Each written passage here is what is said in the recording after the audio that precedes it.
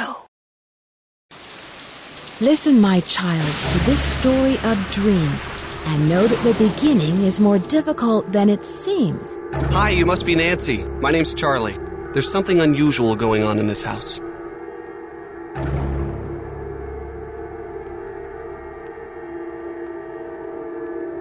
I'm sensing an aura of danger around you.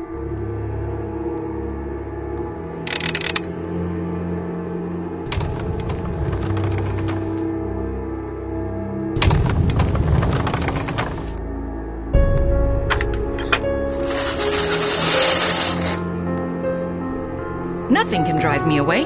I don't care if it's fires, earthquakes, or Mr. Valdez with his gang of ghosts. I sometimes wonder, though, if this old house would be worth more burned to the ground.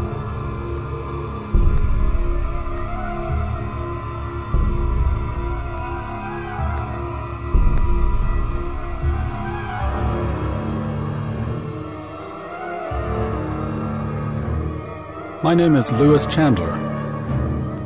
Hmm. Louis is up to something.